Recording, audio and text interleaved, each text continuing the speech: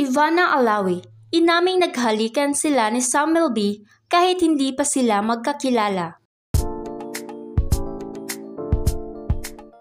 Halikan ang na-assign na gagawin ng stars na sina Ivana Alawi at Samuel B kahit hindi pa sila magkakilala.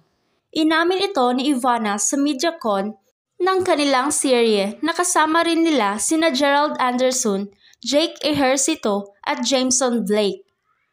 Marami ang may alam na talagang crush ni Ivana si Samuel B kaya para rito ay dream come true ang makatrabaho ito sa family affair. Pero bago naganap ang kanilang teleserye ay una na silang nagkasama sa MMFF movie entry ni na Coco Martin na Triple Trouble Hulika Balbon noong 2019.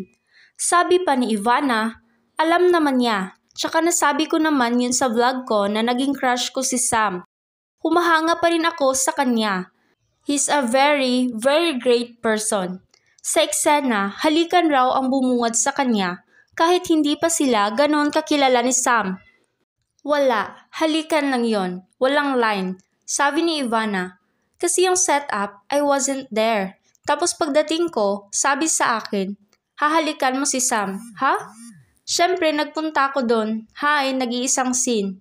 Hindi pa kami na-introduce. We didn't even get to talk, kiss agad.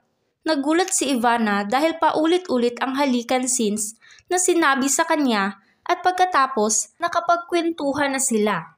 Tapos cut, kiss ulit, kiss ulit. Sabi ko, ha? Ang dami naman. Tapos after nun, nakapagkwentuhan na kami. At dahil crush nga ni Ivana si Sam, sumingit sa usapan ang direktor na si Jerome at sinabing achieve na achieve ni Ivana ang eksena na yon. Yes, nahalikan ko na si Sam, sabi pa ni Ivana.